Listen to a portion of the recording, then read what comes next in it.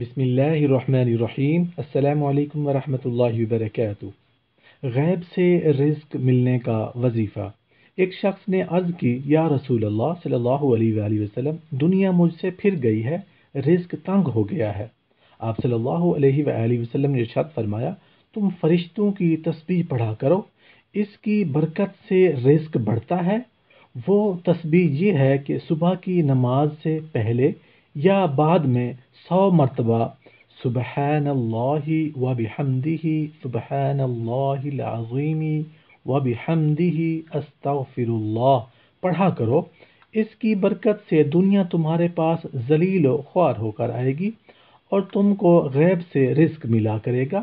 اور اس تسبیح کے ہر کلمہ کی برکت سے اللہ تعالیٰ ایک فرشتہ پیدا کرے گا جو قیامت تک یہ تسبیح پڑھتا رہے گا۔ سبحان اللہ اور تم کو اس کا ثواب ملا کرے گا۔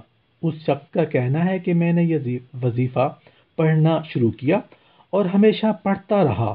تھوڑے ہی دنوں میں اللہ تعالیٰ نے میرا رزق کھول دیا اور میری تنگ دستی دور کر دی اور ارشاد فرمایا سبحان اللہ و بحمدہ جو مرد یا عورت دن میں یا رات میں سو مرتبہ پڑھے گا تو اس کے سات گناہ معاف ہو جائیں گے۔